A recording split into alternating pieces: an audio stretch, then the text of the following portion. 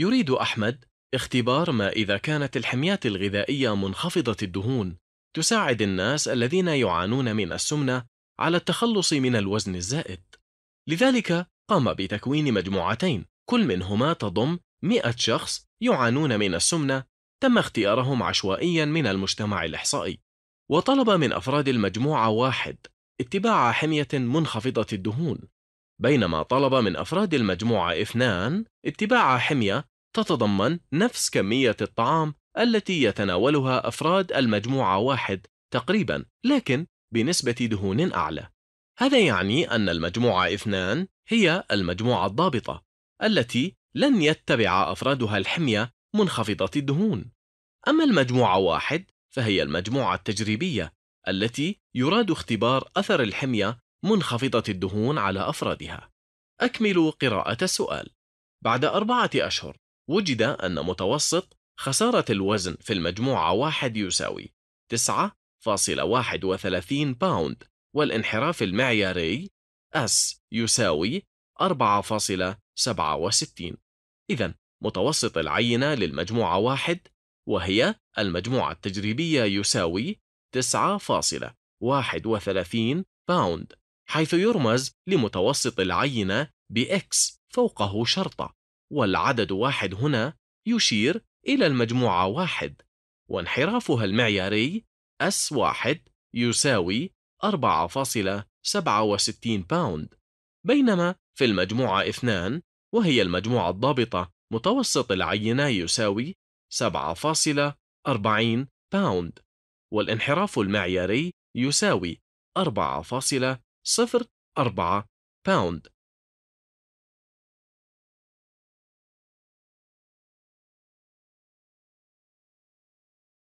بناء على مقاييس العينتين يبدو لكم أن أفراد المجموعة ذات الحمية منخفضة الدهون فقدوا وزنا أكثر من الوزن الذي فقده أفراد المجموعة الضابطة. استخدموا الآلة الحاسبة لإيجاد الفرق بين متوسط العينتين. 9.31 ناقص 7.40 يساوي 1.91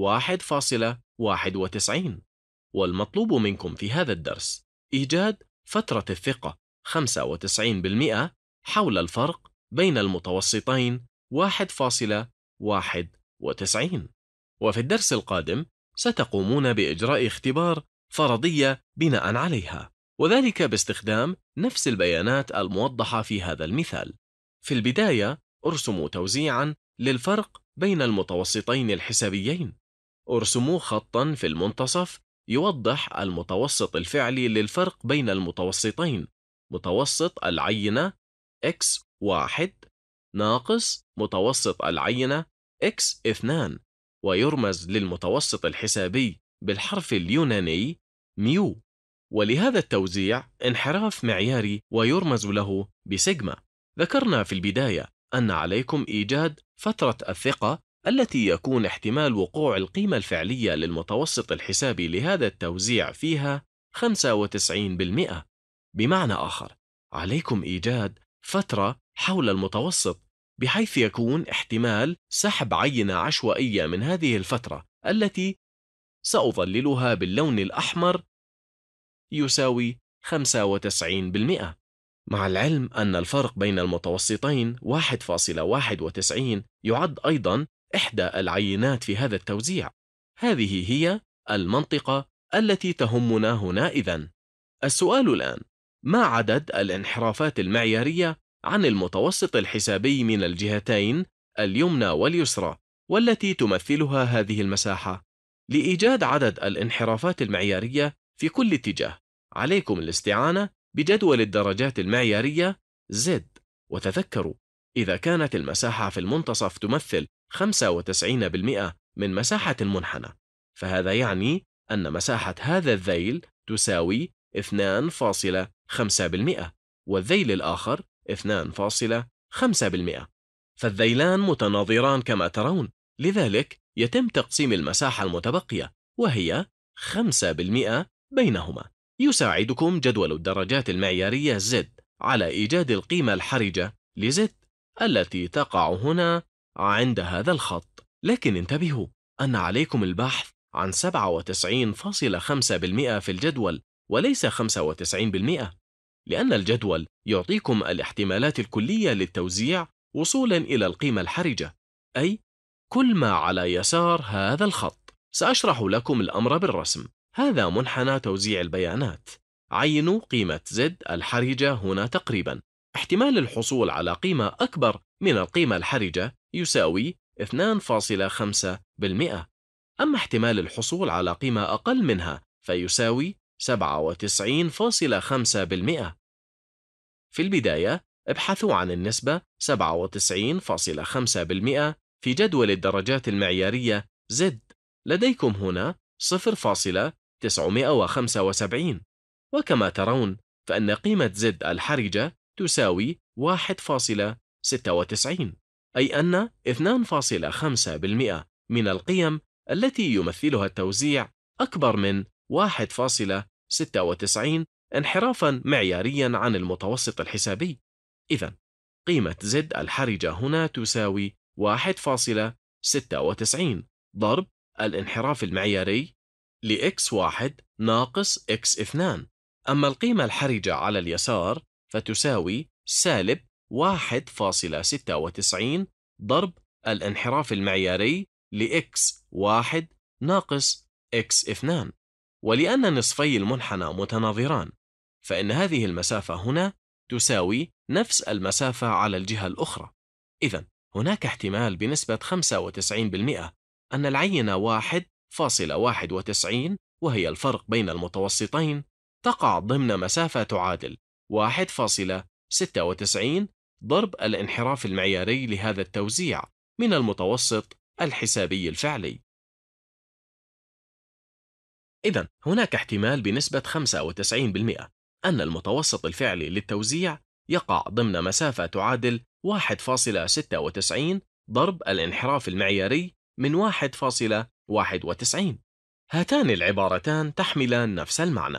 عليكم الآن حساب هذه المسافة وللقيام بذلك عليكم أولا إيجاد الانحراف المعياري لهذا التوزيع. أخذتم في الدرس السابق توزيع الفرق بين متوسطي عينتين أي عليكم حساب الجذر التربيعي لمجموع تباين التوزيعين. من أجل إيجاد الانحراف المعياري. إذا تباين التوزيع x1 ناقص x2 سيجما. تربيع يساوي تباين توزيع العينة. x1 زائد تباين توزيع العينة.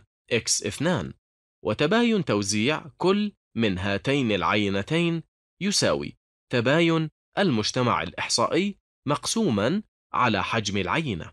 وحجم العينة للمجموعة التجريبية في هذا المثال يساوي 100 زائد تباين توزيع عينة المجموعة الضابطة ويساوي تباين المجتمع الإحصائي مقسوما على حجم العينة. لكن بما أنكم تجهلون هاتين القيمتين تستطيعون الاستعانة بتباين توزيع العينة من أجل تقدير تباين توزيع المجتمع الإحصائي خاصة أن قيمة n أكبر من 30 وهذا ينطبق على العينتين x1 و x2 فيصبح لديكم S1 تربيع على 100 زائد S2 تربيع على 100 مع العلم أن S يستخدم للدلالة على الانحراف المعياري وبالتالي يشير S تربيع إلى التباين. هكذا تستطيعون حساب تباين توزيع الفرق بين متوسط العينتين. الآن إذا أردتم حساب الانحراف المعياري فكل ما عليكم فعله هو حساب الجذر التربيعي لكلا الطرفين. عوضوا الآن القيم في المعادلة لتحسبوا المقاييس الإحصائية المطلوبة. وفقا للمعطيات فإن S1 وهو الانحراف المعياري للمجموعة واحد يساوي 4.67 أما S2 فيساوي 4.04 ولا تنسوا أن عليكم تربيع هاتين القيمتين. استعينوا بالآلة الحاسبة الآن لحساب الانحراف المعياري لتوزيع الفرق بين x1 و x2 جيت الجذر التربيعي ل 4.67 تربيع مقسوما على 100 زائد 4.04 تربيع مقسوما على 100 ويساوي 0 617 بعد أن حسبتم الانحراف المعياري لهذا التوزيع أصبح بإمكانكم الآن حساب فترة الثقة. هذا الجزء من العبارة أي الانحراف المعياري يساوي 0.617 إذا المسافة بين القيمة الحرجة والمتوسط الحسابي يساوي حاصل ضرب 1.96 في 0.617 ويساوي 1.21 تستنتجون أن فترة الثقة 95% تساوي 1.91 وهو الفرق بين المتوسطين. زائد أو ناقص 1.21 إذا ما هي فترة الثقة؟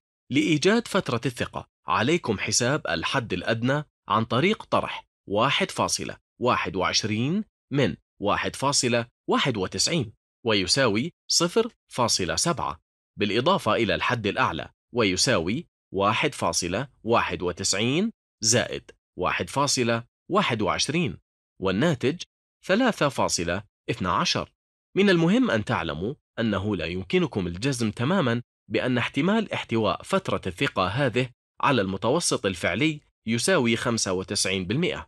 الفكرة هي أن بإمكانكم أن تكونوا واثقين بنسبة 95% من هذا الاحتمال.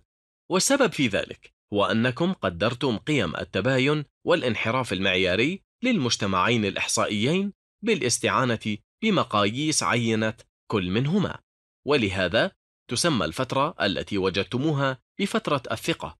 مجددا يمكنكم القول من أنكم واثقين بأن هناك احتمالا نسبته 95% من وقوع المتوسط الفعلي لتوزيع x1 ناقص x2 ضمن هذه الفترة فترة الثقة.